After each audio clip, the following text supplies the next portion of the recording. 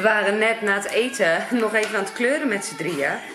Maar dat kreeg ik bij lange na niet af. Marco en Sarah die waren eh dikkie dik aan het doen. En ik heb deze gepakt. Ik vind hem wel cool worden.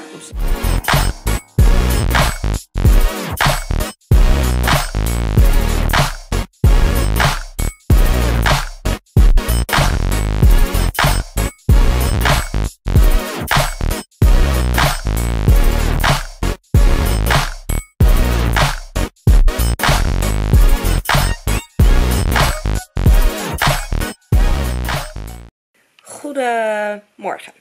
Het is vrijdag. En ik merk echt dat ik steeds minder zin heb om 's ochtends mijn bed uit te komen. Het is niet dat, eh, ja, we hebben dat nieuws gehad en met de vakantie vijf en een halve week dat je weet dat je gewoon niet op tijd je bed uit moet. En het is natuurlijk al zoveel weken zo.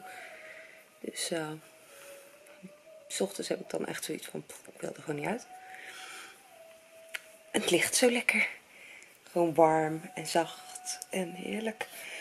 Moet wel opstaan. Sarah is naar beneden gegaan. Die zat ontbijten en die gaat dan aan de school beginnen. Dus ik moet er wel uit, dat weet ik. Maar dat betekent niet dat ik zin heb om onder mijn warme dekentje vandaan te. Maar ja, we gaan het wel doen. Ik ben eruit gegaan, aangekleed, opgemaakt. Helemaal top. Ik moet alleen nog even schoenen aandoen. Ik doe gewoon even die doenlaarsjes aan. Die zitten altijd gewoon echt perfect. Het ook voor mijn doen echt gewoon... Dit is voor mij gewoon een platte schoen, zeg maar. Ehm, dus dit zijn mijn dagelijkse sportschoenen. Oh, en als ze altijd klaar is, dan gaan we zo nog buiten een aardig stuk lopen. Dus dan is het ideaal. Ik heb deze blouse aan van Envy, geloof ik, ja. Eh broek, Friends Connection en dan die doenlaarsjes inderdaad. En deze oorbelletjes. En waar zijn ze nou ook weer van? Ik heb ze wel laten zien. Ik kom er niet op. Ehm, ja. Ik ga even kijken hoe ver Sarah nu is met de schoolwerk. En toen kreeg ik een hele grote doos binnen. Hij is echt zwaar. Dat is deze. En dat is een oh, optidee-bestelling. Ja, het is echt een chaos daar. Help, mijn kind is hele dagen thuis.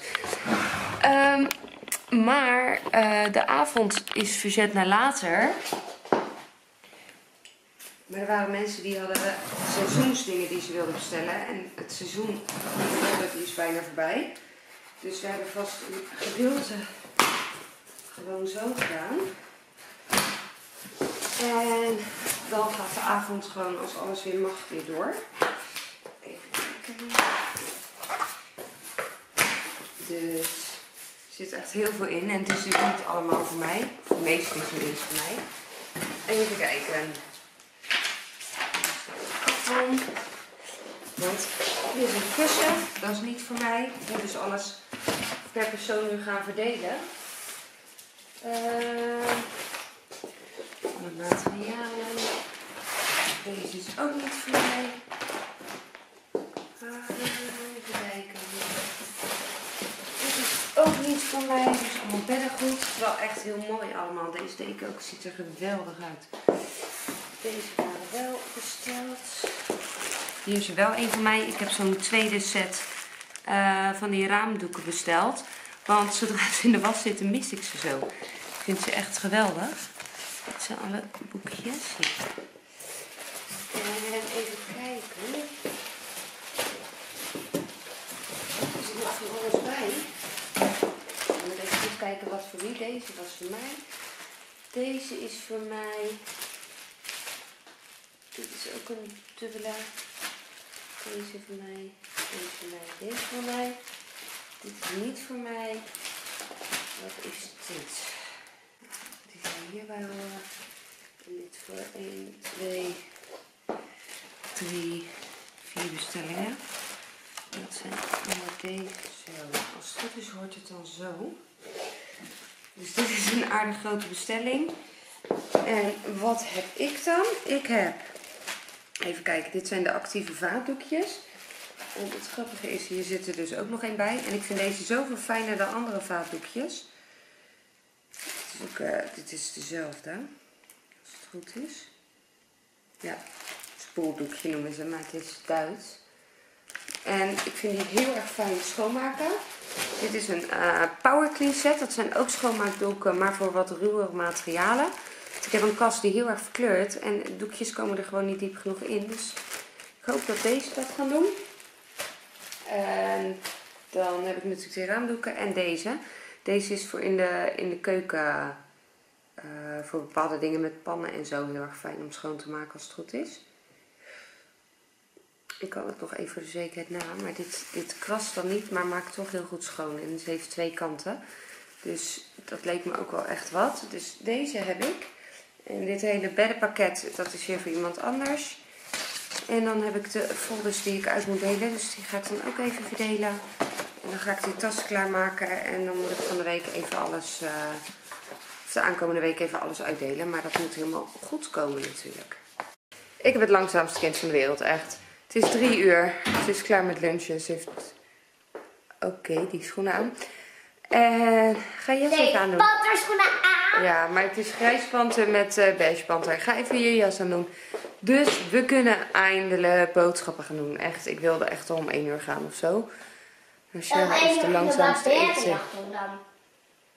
Nee, dat wilde ik al uh, daarvoor gaan doen. Maar ja, jij deed er vandaag zo lang over. Dan ga ik niet meer op berenjacht vandaag. Dus daar gaan we morgen voor kijken. Uh, en nu ga ik me weer in de supermarkt wagen. Echt. En ik heb zo geen zin daarin.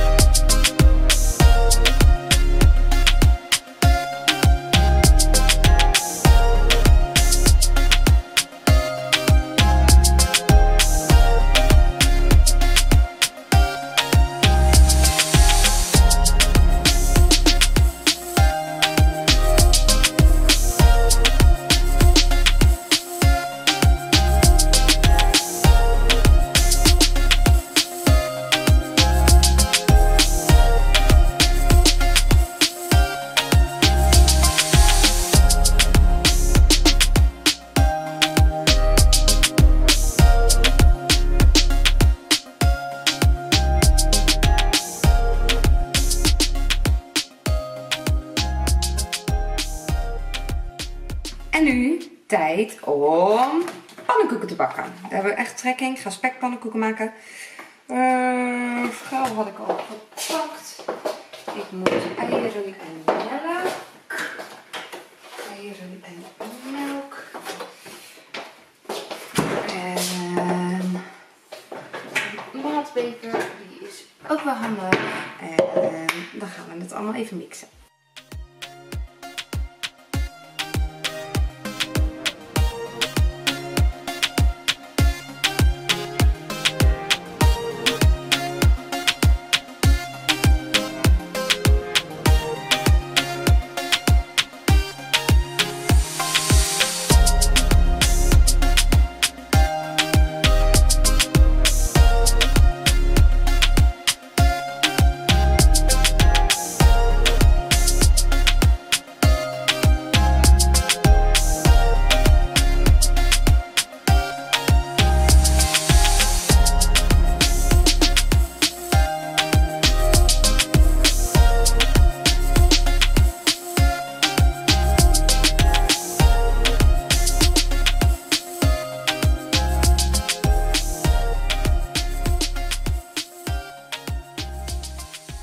We waren net na het eten nog even aan het kleuren met z'n drieën.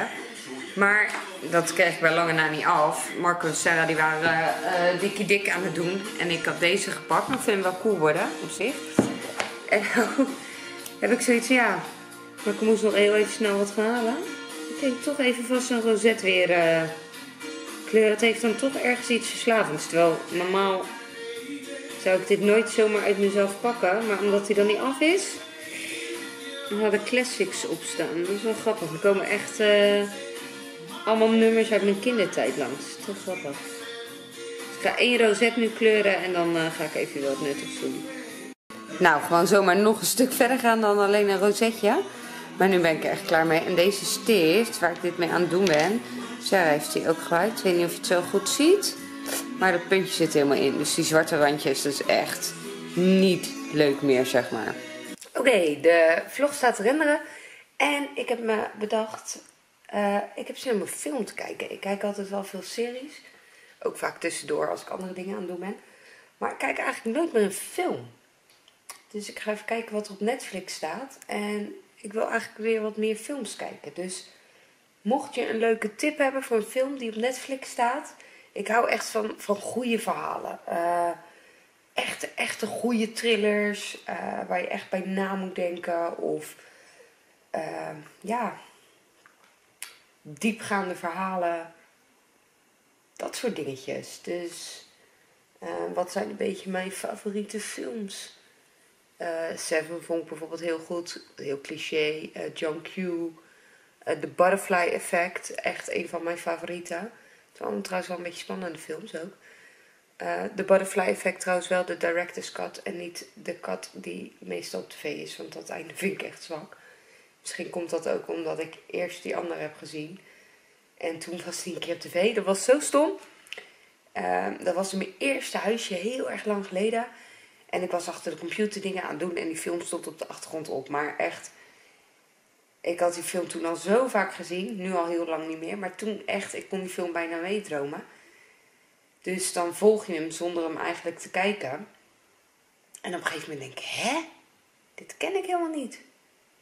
En toen meer, en toen ben ik het einde gaan kijken. En nou, echt een heel ander einde. Maar het einde, het eindigt goed, maar tegelijkertijd ook slecht. En uh, dat maakt het einde echt waanzinnig goed. En in uh, de versie die toen op tv was, was het echt gewoon ja, een cliché einde. En daardoor was het helemaal niet meer boeiend. Het haalde echt de kracht van die hele film weg. Ja, dat vond ik gewoon stom. Dus uh, ja, als je ooit die film kijkt, er zijn dus twee eindes bij de Butterfly Effect. En de ene, ja, dan is het gewoon een leuk film. En die ander, dat maakt gewoon die film waanzinnig goed. Dus ja, een tip van mij. En ik ben ondertussen aan het zoeken. En ik kom al zeer, zeer, zeer, zeer tegen. Maar ik zoek films. Oké, ik zoek eigenlijk naar films. Dat doe ik. Oh ja. Dat doe ik eigenlijk nooit. Um, wat gaan we doen? Oké, ik twijfel nu tussen deze en deze. Deze wilde ik echt heel graag zien, maar ja, die duurt wel drie uur. En deze, want ik heb één gezien en die vond ik dus heel erg goed. Um, ik denk dat ik deze in mijn lijst ga zetten. Want dan ga ik hem toch een keer kijken, want dan kom ik hem vanzelf weer tegen. En anders vergeet ik dat weer. En dat ik deze, want deze duurt twee uur, scheelt toch drie kwartier nu. Dat ik deze dan nu ga kijken. Ik vond een goed idee voor mezelf. Ik vond een goede film. En nu ga ik lekker bijkruipen in bed. Dus ik wil je bedanken voor het kijken. Ben je niet geabonneerd? Klik even op abonneren hieronder. Vind ik super leuk. Maak je me heel blij mee. Duimpjes, reacties, helemaal top. En dan hoop ik je morgen weer te zien. Doei doei!